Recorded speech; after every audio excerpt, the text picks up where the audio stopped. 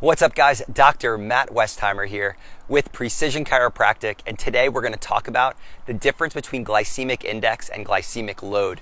Now, why is this important? The reason why this is important is because so many people now are either pre diabetic or have type 2 diabetes, which is an insulin resistance problem. And in the old days, type 2 diabetes used to be called adult onset diabetes, but it's no longer called that anymore. You want to know why? Because kids are getting it.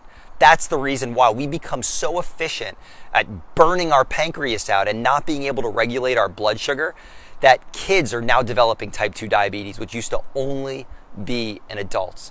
So let's talk about glycemic load and glycemic index because that's a really important concept to understand because you're going to see a lot of this out there. The difference between glycemic index and glycemic load is like this. Imagine if you have a pound of feathers and a pound of nails. How, what's the difference in the weight? Not a trick question. It's the same weight. So a pound of nails and a pound of feathers both weigh the exact same. So that's like the glycemic index. It's a pound. It's the same either way.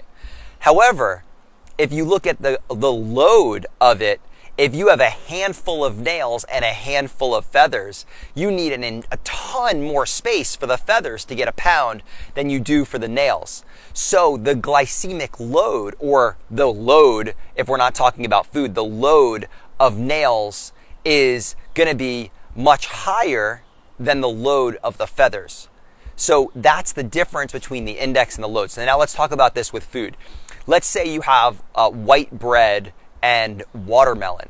Those two things have about the same glycemic index, but it's very, very easy to get a lot more carbohydrates from the white bread or from white rice than it is from the watermelon because the watermelon is mostly water. And so the amount that you need to eat to get the same amount, if you're having a lot, the watermelon would make you sick.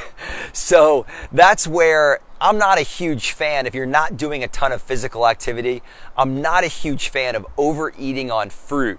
But I just want you to understand the difference between glycemic index and glycemic load. So when you're looking at these things, processed foods that have the same glycemic index as a fresh food are totally not the same. So if you're going to be tracking all this kind of stuff and you're curious, look up the load, not the index.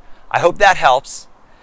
Keep learning keep staying tuned. We got a lot more great information coming at you.